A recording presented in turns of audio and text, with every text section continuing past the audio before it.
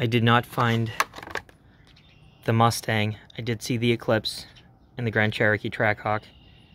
Um, I did not buy the Eclipse or the Grand Cherokee, and I did not see a Mustang. I did get these two.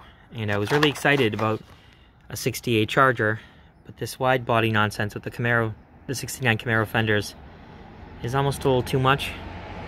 It's still awesome, but it's also a little disappointing. Hot Wheels finally making a 68 Charger and it's not stock. Anyway, let's open these up. As far as the Lykan Hypersport, I'm not really even into this car.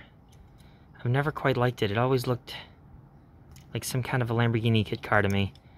The only reason I did end up buying it, um, as you might or might not know, it, it's powered by a, a RUF Porsche-based six-cylinder, flat six-cylinder engine.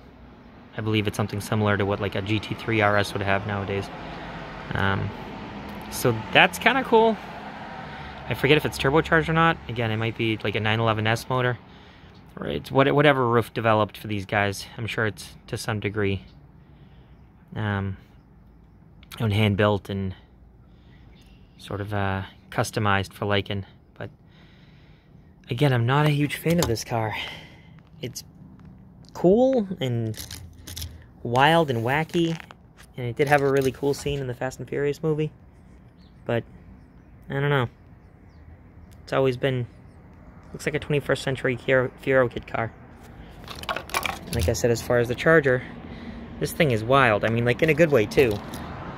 I do kind of like that crazy, wacky 69 Camaro style fender. Oh my god, look at this rub off from the packaging.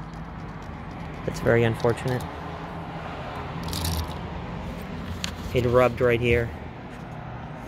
But apparently this thing was rear-engined. I think it's a Elephant motor. Something something out of a Demon or a Hellcat, some, something along those lines.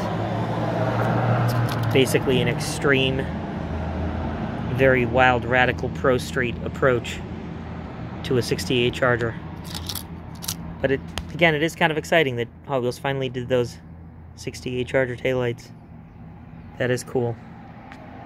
Hopefully they do a stock one now.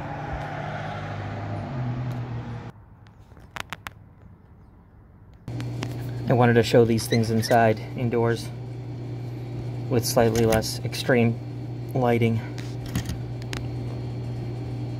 So there you go, Lykan Hypersport. And the 68 Charger from... Actually, I'm not even sure which Fast and Furious movie this is from, I forget. Pretty wild though. And again, this packaging rubbing off on this car is not making me happy. It's pretty disappointing. Ugh.